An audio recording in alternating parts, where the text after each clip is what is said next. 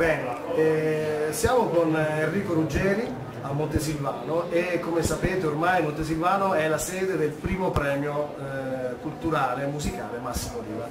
Eh, Enrico ha scritto tre canzoni insieme a Massimo Riva, Maledetti, Pelle Rossa e Polvere d'Oro, nel suo passato con la Steve Rogers Band, nel suo passato da solista e chiediamo a un artista del genere un ricordo. Eh. Beh, io ho avuto pochi amici tra i cantanti, i musicisti, insomma non sono uno di quelli che passa la giornata e la vita a vedersi con gli altri cantanti e qui ho avuto solo amicizie vere e devo dire con Massimo, soprattutto per il suo periodo milanese, c'è stato un periodo in cui lui abitava a Milano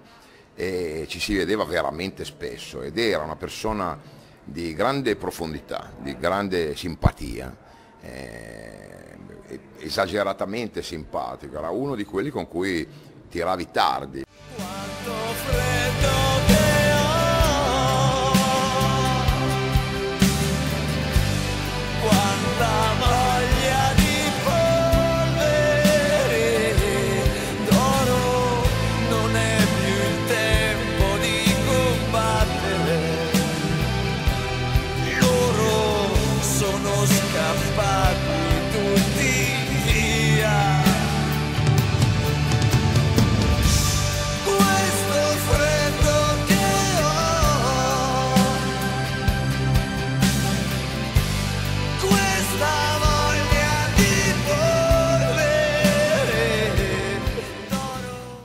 Cui un bellissimo ricordo, eh, eh, paradossalmente quasi più umano che musicale, perché poi musicale lui aveva la, la, la sua storia ben eh, scritta e ben importante con, con, Vasco, ci siamo incrociati appunto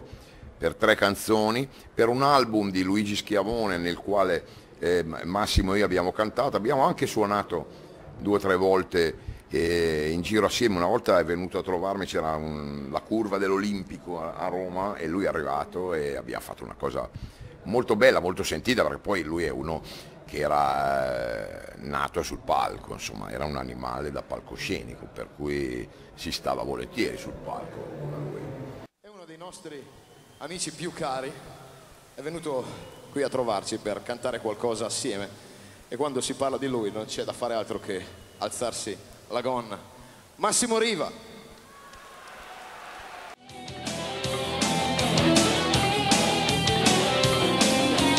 Vivono nel buio, nella notte passano la frontiera,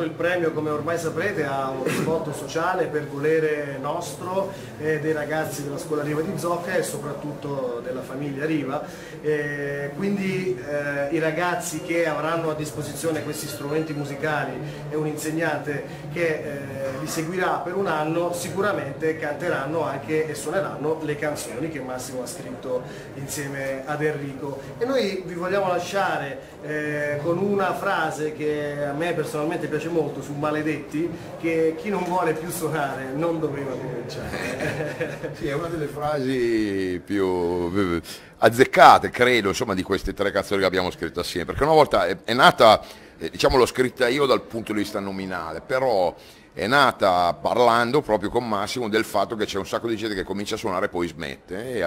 allora noi abbiamo detto chi comincia e poi smette facevamo, poteva evitare di cominciare. Ed è stata proprio questa la motivazione che mi ha eh, portato alla scelta di Enrico come personaggio per battezzare eh, il primo premio dedicato a Massimo perché di passione, coerenza e la cultura del lavoro, Enrico se mi posso permettere ne ha fatto una bandiera e la passione di Massimo era la stessa, si viveva solo ed esclusivamente per la musica e i risultati si raggiungono solo ed esclusivamente per la musica, i romanzi, eh, i concerti, le canzoni, tutto fatto con il massimo dell'impegno, del lavoro e della passione. Sì, e poi se, se, se, sono fatte bene le cose durano nel tempo. E di Massimo, stiamo parlando di Massimo che purtroppo non c'è più da un po' di tempo, eppure eh, grazie alla musica che ha fatto e alle sue qualità è ancora una persona della quale si parla come se fosse tra noi e in un certo senso lo è.